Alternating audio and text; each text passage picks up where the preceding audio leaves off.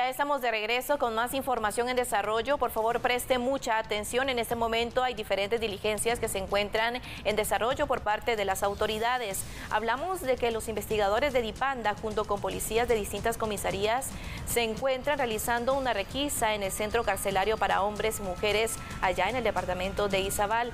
De manera preliminar, se reporta que en el sector de mujeres se ha localizado en total ocho teléfonos celulares un chip, 23 cargadores, cuatro memorias USB, objetos punzocortantes, encendedores, baterías, extensiones de energía y apuntes relacionados con números telefónicos, por lo que en este momento continúan con las investigaciones a detalle de lo que acaban de encontrar.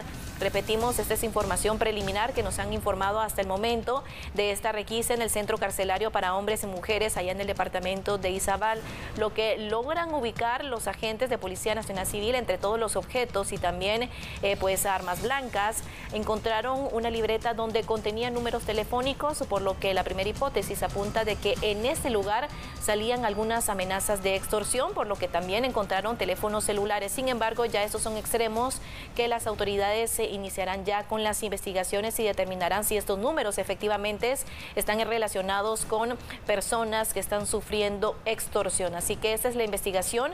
Estas son las fotografías que nos comparten en este investigadores de Dipanda que están ingresando en este momento a las diferentes carceletas en esta requisa, en este centro carcelario para hombres y mujeres. Repetimos lo ubicado de los ocho teléfonos celulares, el chip, los 23 cargadores, las memorias USB, los objetos punzocortantes, el encendedor, las baterías, extensiones de energía y los apuntes relacionados fue ubicado específicamente en el sector de mujeres, según lo que han detallado los agentes de Policía Nacional Civil. Así que esperemos más adelante tener una actualización al respecto de lo que han encontrado en todo este centro carcelario ubicado en el departamento de Izabal.